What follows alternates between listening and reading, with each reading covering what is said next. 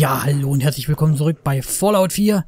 Äh, Ich bin hier in einer ähm, alten Rocket-Werkstatt, um, ähm, ja, ja, hab ein bisschen geplündert und hab das Zeug tatsächlich auch hier wieder hier reingelegt, was ich so gefunden habe. Ein Haufen Schrott, den können wir irgendwann noch verwerten für unsere Wohnung und so weiter und so fort. Ähm, geschäftliche Einträge, mal gucken, was es hier in dieser Red Rocket ähm, Terminal so gibt. Neue Ausrüstung installiert, musste mich etwas mit der Zentrale anlegen, aber wir haben endlich alle Werkzeuge, um selbst unsere Teile herzustellen. Wenn wir das nächste Mal äh, den Gurtverschluss ändern, müssen wir also nicht wieder den teuren die teuren Corvega-Teile bestellen. Wir nehmen einfach einen von denen, wie wir haben, und passen den an. Sehr schön. Okay, rosafarbene Restaurierung. Die Witwe Rosa aus Sanctuary Hills restauriert zusammen mit ihrem Sohn einen alten Corvega hübsch. Der, äh, der Junge scheint etwas verzogen, aber das ist wohl der Grund dafür, dass sie dieses Projekt mit ihm durchzieht. Wie dem auch sei. Sie hat bisher, äh, hat das bisher verdammt gut hinbekommen. Ich war echt überrascht, wie viel sie und der Junge allein geschafft haben. Sie ist nur zu mir gekommen, weil der Motor noch etwas kompli zu kompliziert für sie war. Ich bin sicher, wir können ihr helfen. So. Sichere Verwahrung. Jim, kümmere dich um diese Fässer, bevor sie heute, bevor du heute Schluss machst. Die Prüfer kommen direkt morgen früh. Versteck sie einfach bei den anderen.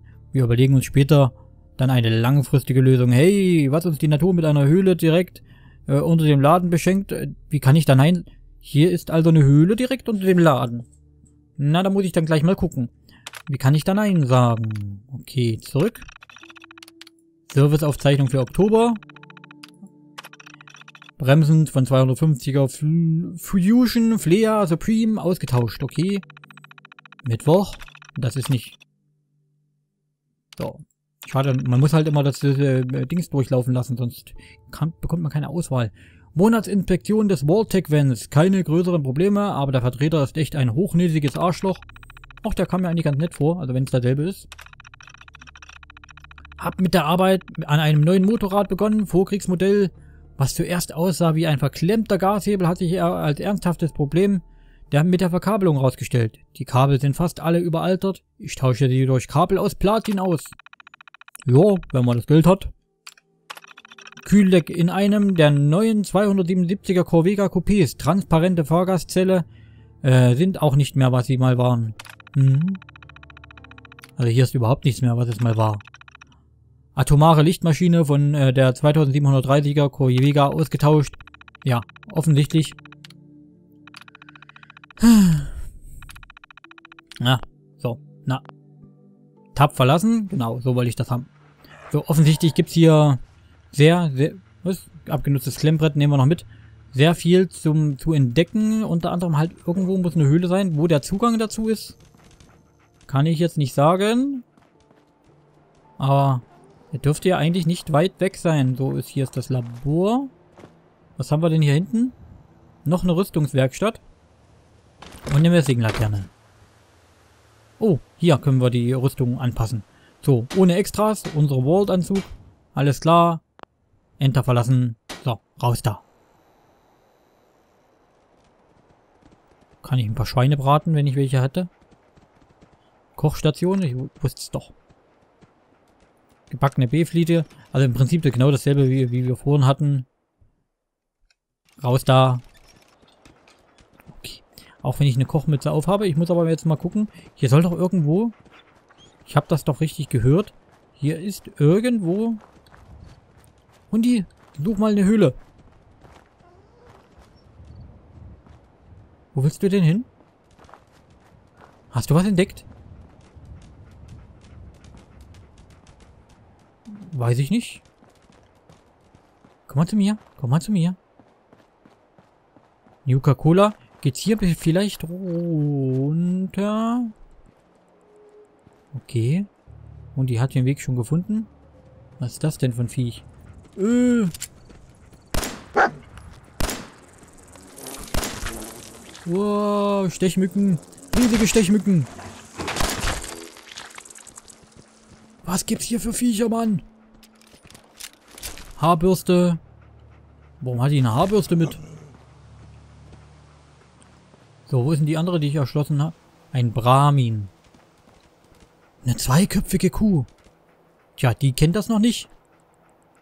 Jeder aus Fallout 4 weiß das. Aber die, oder jeder aus Fallout, äh, aus der Fallout-Reihe weiß, dass es nur noch zweiköpfige Kühe gibt. Aber die nicht. Leuchtet das immer so? Ist ja cool. Gut gemacht. So, ich suche jetzt eigentlich hier nach einem Höhleneingang, Leute. Also, eigentlich wenn, dann müsste es ja hier runtergehen. Weil wenn die Höhle direkt runter ist, ich habe ja drinnen keinen Eingang gefunden. Ah. Vielleicht finden wir ja da noch was. Hirnpilz. Löcher. Schlosshammer, Schraubenschlüssel, Schraubenschlüssel. Nehmen wir alles mit. Einen leuchtenden Pilz. Okay. Ein Maulwurfsrattenbau. Ah, verdammt. Da sollte ich mich vielleicht nicht so gleich reinwagen, aber naja. Okay, drin sind wir. Hirnpilz. Ah, Folge. Folge 3 eigentlich schon. Äh, Quatsch, Folge 6 schon. Und äh, wir sind immer noch keinem einzigen anderen Menschen begegnet.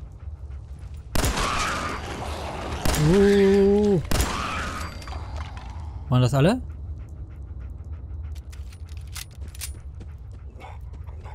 Mal schauen. Maulwurfsrattenleder.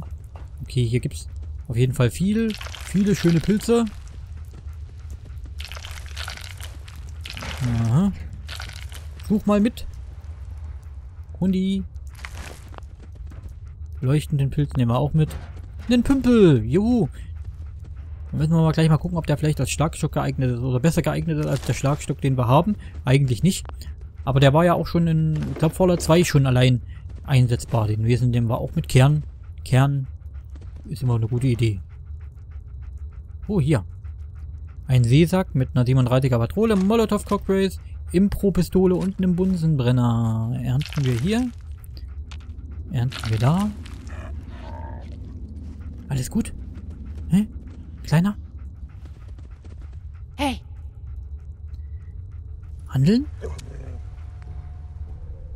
Kannst du eigentlich tragen? Kann ich dir einen Besen geben? Ich kann dir einen Besen geben. Mhm. Okay. Also weiß ich, wenn ich mal zu wenig ähm, Inventarplatz habe, der Wauwau, der schleppt auch einen Besen für mich. Okay. Leuchtender Pilz. Oh oh, Radioaktivität. Ich will hier nur ganz schnell mal gucken. Fusionskern nehmen wir mit. Das hier. Ich will nicht lange bleiben. Was? Mr. Benson, im Namen der Regional des Regionalbüros Boston möchte ich Ihnen und Ihrem Team die Auszeichnung Mülljäger 2076 ähm, für die Auszeichnung Mülljäger 2076 gratulieren, die dem Geschäft mit der höchsten Abfallvermeidung verliehen wird. Rücksichtnahme auf die Umwelt ist ein wichtiger Bestandteil unseres Firmenimage und wir begrüßen Ihre innovativen an tiefen Ansichten in dieser Hinsicht. Mit freundlichen Grüßen, Gerald Phillips. Naja, okay würde mal sagen, haben sie sich ein bisschen geirrt. So, wir gehen mal von, äh, von hier raus. Ich hoffe, ich weiß nicht, ob die Verstrahlung von alleine sinkt langsam. Oder ob wir die dann wirklich mit Red X killen müssen. Wir haben ja auf jeden Fall schon ein bisschen Verstrahlung eingefangen, wie man sieht. Naja. Zählt manchmal nichts. So, wieder raus in die Oberwelt. Sollten übrigens irgendwo mal die Ladebildschirme zu lange dauern, ja, könnt ihr schon damit rechnen, wobei das eigentlich jetzt momentan schon relativ flott geht, kann mich nicht beschweren. Aber wenn es denn so sein sollte, dürft ihr durch, da, durchaus damit rechnen, dass ich dann sage, okay, wisst ihr was? Und die alles klar? Wisst ihr was? Ich cutte da kurz und äh, mach da einen kleinen Schnitt rein. So, Hand hat das gewusst, Hund hat einen Gegner entdeckt. Von der Seite. Danke, Hund. Hund hat mich gewarnt. So, welche Richtung müssen wir denn? Ich gehe mal hier runter. Ich weiß, ich weiß echt nicht, in welche Richtung es jetzt geht. Steht zwar, ich könnte zwar mal auf die Karte gucken, ich denke mal beide Wege führen nach äh, Komet. So. Kronkorkenvorrat nehmen wir mit. Nuka-Cola Quantum. Zuckerbomben. Die Quantum Nuka-Cola ist tatsächlich übrigens äh, mit radioaktivem Material verstrahlt worden. Weiß man alles aus den Vorgängerteilen. Wie gesagt, ein bisschen was kann man ja erklären. Oh, eine Haarklammerbox mit vier Haarklammern. Yay. Befehl. Okay. Eine Chemikalienkiste. Gehen wir mal wieder runter. Komm, komm, Hundi.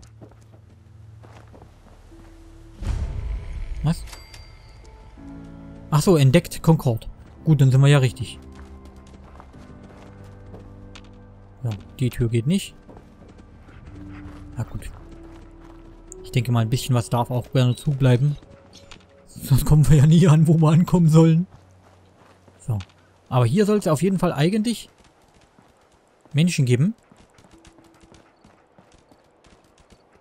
Ich sehe hier noch keinen. Mhm. Also mich natürlich. Oh.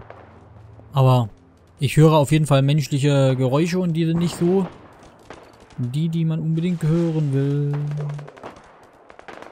Oh, knallt aber gewaltig.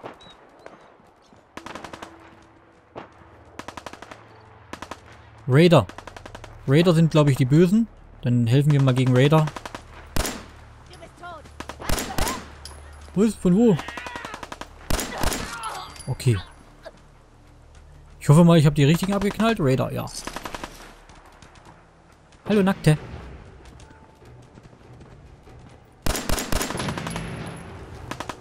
Oder Okay. Hey, hier oben! Auf dem Balkon! Hier drin ist eine Gruppe Siedler. Die Raider sind schon fast durch die Tür. Schnapp dir die Lasermuskete und hilf uns, bitte! Welche Lasermuskete? Ich sehe keine. Ach, die da. So, Zeitreisen für Anfänger. Sind wir schon wieder weiter. Die Lederkombi, ich nehme natürlich alles mit, was ich finden kann. Auch eine Lasermuskete. So. Zeitreisen für Anfänger. Level Up haben wir auch. Äh, du hast folgendes Level erreicht. 3. Tab halten, um Menü Skills zu öffnen. Freiheit ruft. Begonnen. Optional, nimm die Lasermuskete. Optional, nimm die Lasermuskete. Okay. Nehmen wir natürlich, wenn wir schon mal wissen, wie es geht. Äh, Impro-Pistole, Automatik, Molotow-Cocktail. Ja, wo ist sie denn?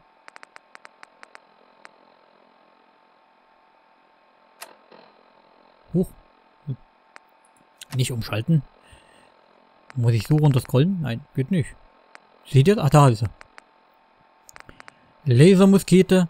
Okay. Ausrüsten und zwar auf die 4. Okay.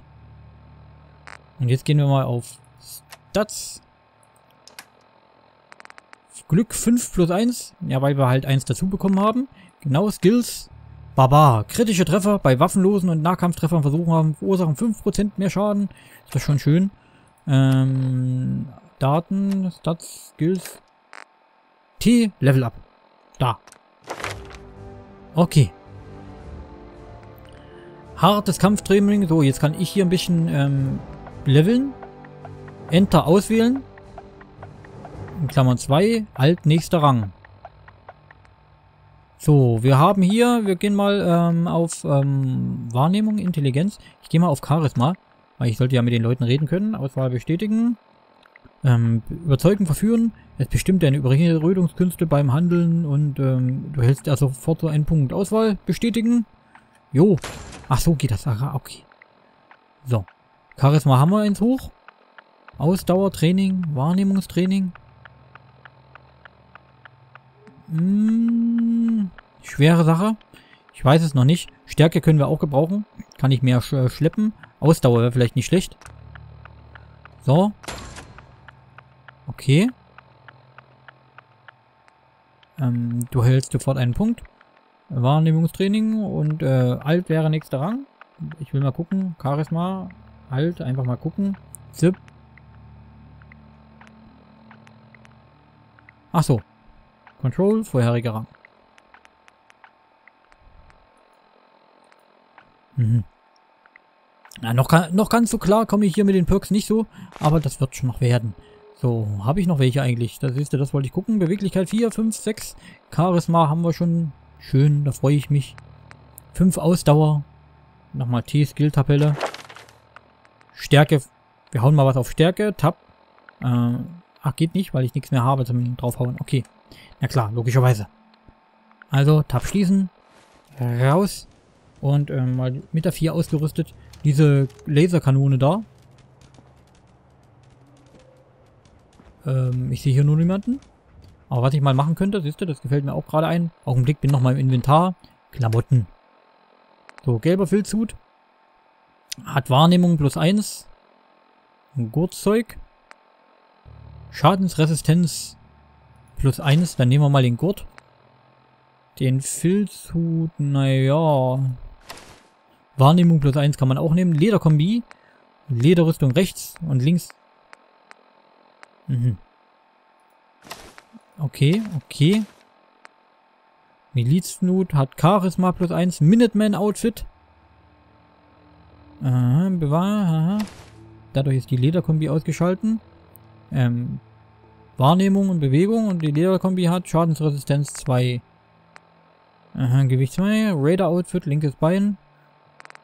Ja. Also hier sieht man, wir hatten viel mehr Ausrüstung. Man muss schon einiges machen. So Sackkapuze mit Schläuchen. Schadensresistenz gegen Strahlung. Die hätten wir vorher mal brauchen können. Sommerkleidung. Sturmgasmaske. Vault-Anzug. Vault-Tech Laborkittel. Ich, ich gehe mal kurz raus. Ja, wir sehen schon ein bisschen anders aus jetzt. Okay. So, die haben wir nackig ausgezogen. Und ich würde mal sagen, wir gehen mal rein. Ins Museum der Freiheit. Museum der Freiheit in so einer Situation auch ein merkwürdiger Name. Aber okay. Oh man, hier drin knallt's doch gewaltig.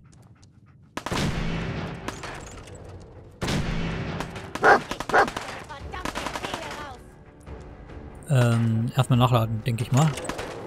Oh, cooler Effekt. Piu.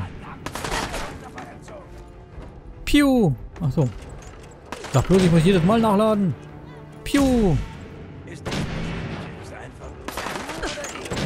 Ja, ja. Ist mir schon... Wow, wow, wow, wow. Meine Fresse. Der britische Besatzer, was?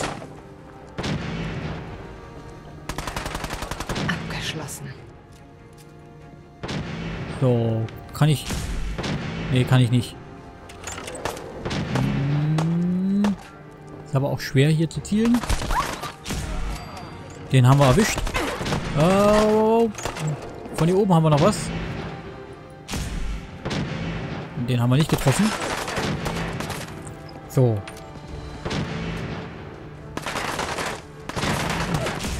Uh.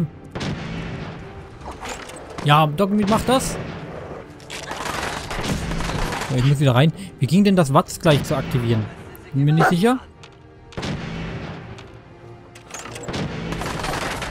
Muss ich dann nochmal nachgucken. In der Folgenpause oder sowas. Ich muss aber erstmal den, den Typen da drüben, hm, den ich nicht platt machen kann. Na gut, dann plündern wir erstmal. Oh, ich sehe gerade, ich muss vielleicht äh, erstmal ein bisschen auf mein eigenes Leben achten. Uiuiui. Ich gehe mal kurz hier hinten in Deckung. Ja, ja, keine britischen Besatzer mehr. Ist egal, ist egal. Eben schnell speichern. Ich habe nämlich noch keine Ahnung, welche Tastenkombi das ist. Und ansonsten sehen wir uns in der nächsten Folge wieder. Da werde ich erstmal mich ein bisschen hochheilen. Und äh, bis zum nächsten Mal, Leute. Bis denn. Tschüss.